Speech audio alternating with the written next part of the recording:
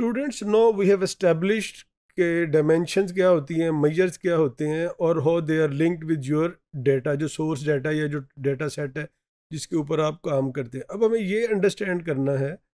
कि इसकी ज़रूरत हमें क्यों पड़ती है इसके अंदर अपना जब हम डेटा साइंस के अंदर या एनालिटिक्स के अंदर डायमेंशियलिटी जो रिडक्शन है वो हम क्यों करते हैं? तो उसके लिए दे आर डिफरेंट जैसे एक एग्जांपल तो मैंने आपको दी रैंगलिंग की। लेकिन उसके साथ साथ अगर आप अब हमारे पास जो दूसरे मल्टीपल डेटा टाइप्स हैं, उनको देखें और even it is very interesting to understand कि ये जो कॉन्सेप्ट है, ये डेटा साइंस के अलावा आपकी ये जो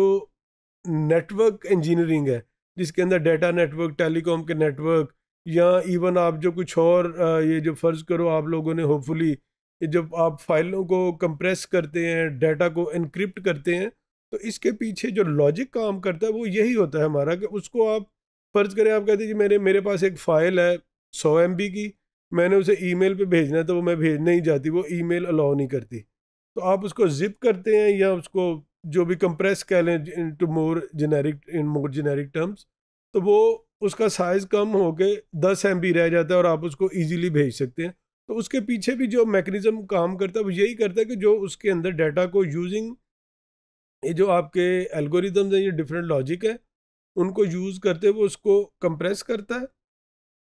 जब आप उसको ओपन करते हैं, क्योंकि आप इसके लिए ख़ास वो सॉफ्टवेयर यूज़ करते हैं जैसे विन जिप है विन आर ए आर है कुछ और भी होंगे बट ये दोनों ज़्यादा पॉपुलर है। तो जब आप उसको फिर अनजिप करते हैं तो वो पूरे प्रोसेस को वो रिवर्स कर देता है कि जो जो उसने मैयर्स उसमें से एक्सक्लूड किए थे यू नो रिड्यूस किए थे डायमेंशन रिड्यूस की थी तो सॉफ्टवेयर उनको दोबारा इंक्लूड कर देता है। जब आप उसको खोलते हैं फ़ाइल को तो वो आपको उसी फॉर्मेट में उसी तरह मिलती है, जिस तरह से आपने उसको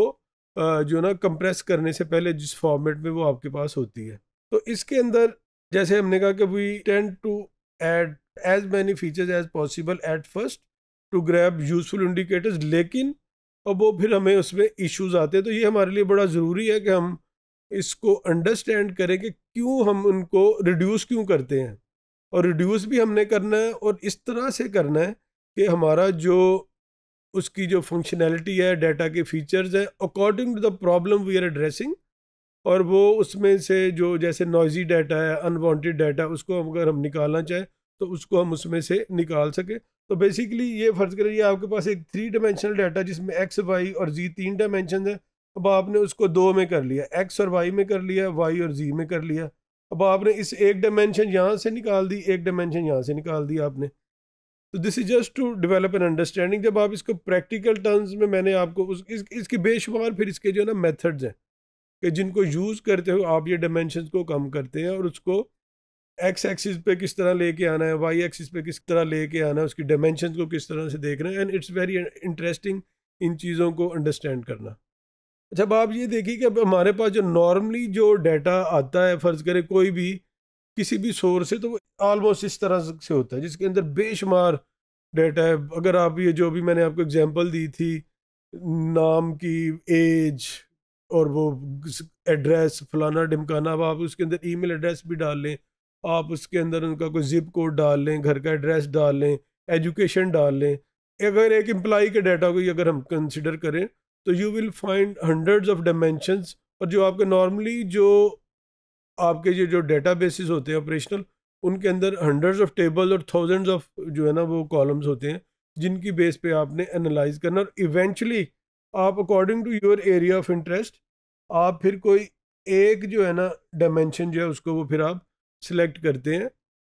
to perform a particular analysis और ये फिर कई हो सकती हैं जब आप उनको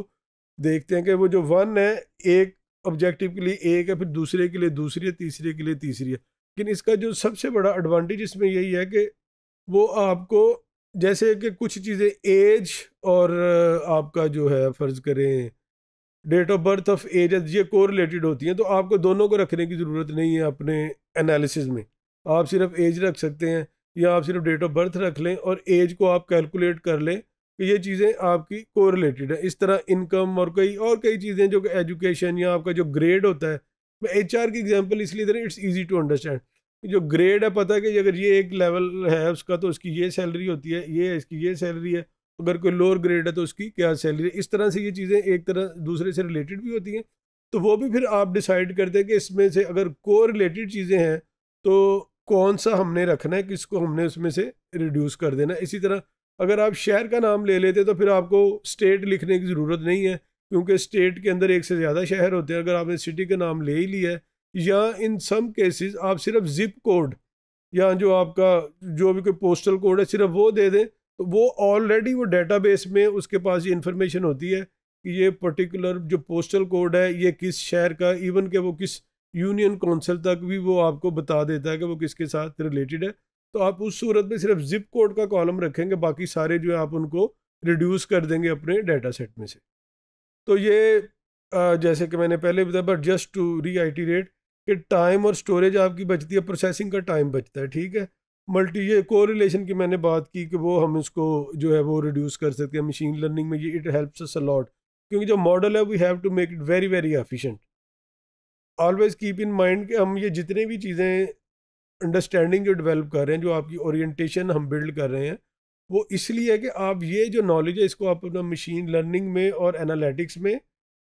यूज़ कर सकें व्हेन इंशाल्लाह you you will be working as a data scientist तो इसलिए आपको ये चीज़ें these are just you know to reinforce your knowledge base ताकि वक्त के साथ साथ फिर आप इन चीज़ों को रेफ़र करें आप इनको यूज़ करते हुए अपना काम कर सकें।